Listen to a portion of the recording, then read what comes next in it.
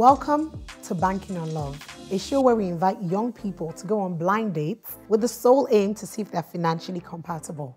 Sounds weird, I know. But in the words of he who must not be named, there is no romance without finance. Join me on this unique and insightful journey as we dive into these conversations on money and love.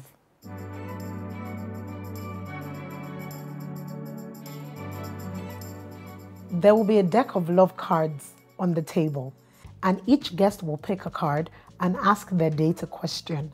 At the end of the date, they will determine if they are compatible and want to see each other again. Now, watch me while I react to these dates.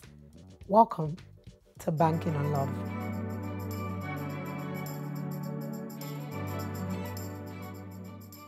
The rule says we pick a card at random, but I want you to do the honors first. Okay. Yeah.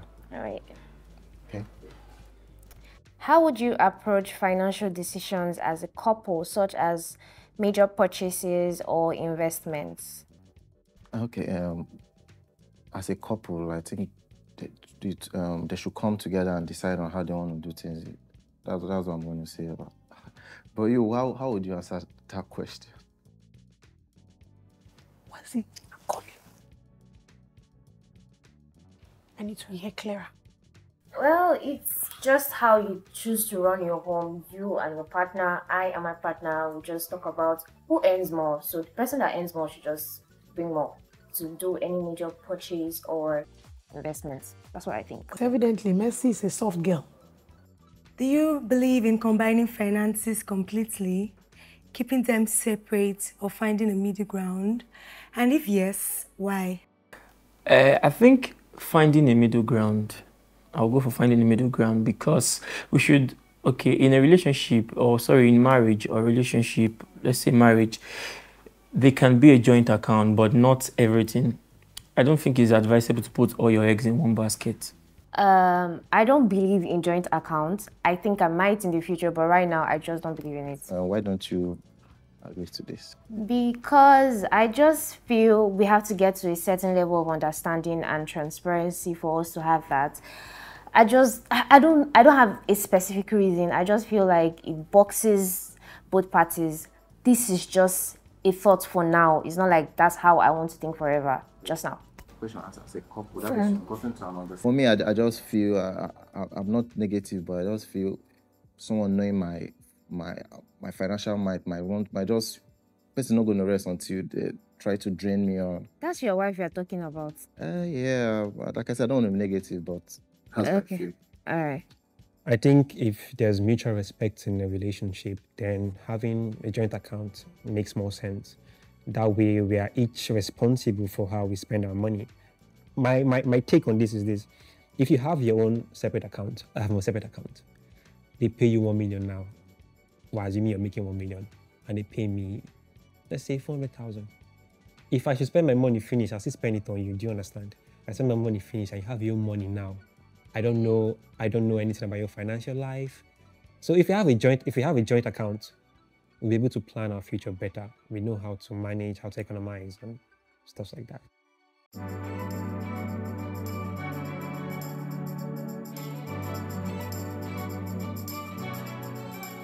If we were given to plan a budget friendly adventure together, where would you suggest we go? And what creative way would you save money along the way? My eye is big show, but I don't know anywhere in Paris, but let's say Paris. So what creative way I would Save money. I'd rather spend though. You give me you say you spend before. So you give me money to buy so many things. But creative way, I'm going to look fine actually. I don't think I will save, I will spend rather. If you have debt, how are you handling it? First thing first, I don't think I'll put myself in a situation where I'm going to be in debt. But then, if I should have debt, the debt to be something I can handle. Are you saying you can't take risk? What if you need the money, like a loan, to do something very important to help your business? Before taking a loan, I feel like there should be a vision. Like the possibility of winning is higher than losing. Do you understand? So if I'm taking any risk, my risk chances is never 50 50. It's 60 40, 70 30. But anything can happen actually. Uh, then. But it's fine. Let's move on. Yeah. How do you approach financial surprises or unexpected expenses within a relationship? That's that's usual. Like if I surprise you and maybe go to maybe go to let me say Cartier and I get lots of stuff and you just see huge debit alerts, how would you approach that? From my own end. Yeah, because it's or be yours, a debit or card. or yours. Or it will be our debit card. You have to have serious questions to answer. Wahala. Yes, now. But you're supposed to be my partner. You're supposed to like, you know, give room or Definitely. He's not our partner. I'm not I'm not the extravagant, expensive lady that would just because that would make me a poor planner. And when you're a poor planner, that means you're you're, you're heading down. And I'm not I'm not about that. But sometimes, you know, women we might go somewhere with the girls and um, With the girls. yeah. I thought the surprise was, was meant for me. It's not with the girls. Yeah, because maybe I would like to take my girls out, or maybe it's my birthday. My own, own money. Because it's your debit card or our debit card. It has to be one of those, yours or ours. I don't I don't I don't subscribe to that. Honestly, I don't. Okay, so if five thousand dollars were to drop on your lap, how are you gonna spend it? Well, just like I told you earlier, I already have a blueprint on how to spend that, that kind of amount of money. Just like I told you, real estate. And you know, real estate is one investment that you doesn't lose easily. It never depreciates.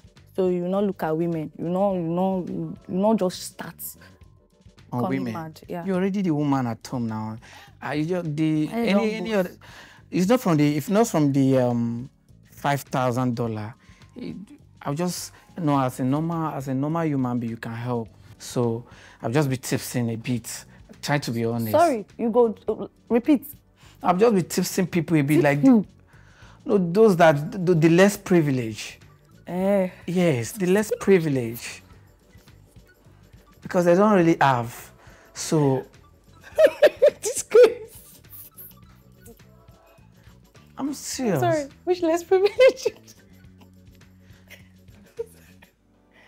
If I don't, no, no, no. I ought to be honest. If I don't tip them, they, they might not see food and eat, or they might they might not get to pay their accommodation. And you and I knows that if if we are if I just say let me focus on only my families alone, come on. Now, Dogu. Okay, okay, okay. Give to the less privileged.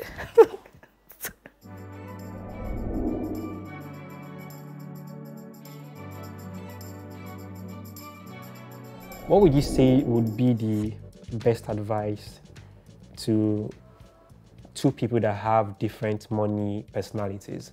Let's assume now that I am a saver and you are a spender. How do you see our relationship working?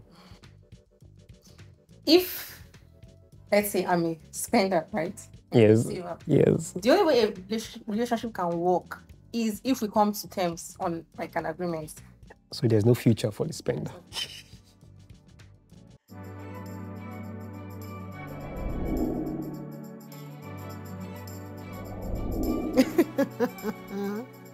My reaction says it all. Let's find out if these guys want to see each other again.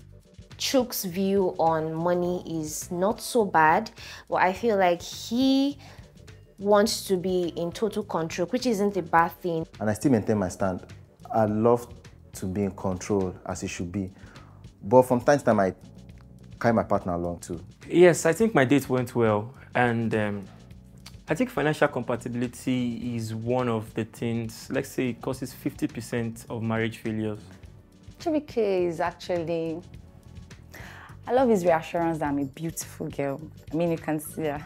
But money is actually very important in a relationship, and how you handle money matters. Yeah, I think it went as well as it could go. My date was educated, she was beautiful, she was very beautiful, and I think she was financially intelligent, so I think it went well. Meeting Chimezie was, um, let's say, it was fun. It was exciting, And a little bit rusty because I liked the fact that he kept it real. I would give him that. He was real with his questions. He was real with um, the vibe. I liked the flow.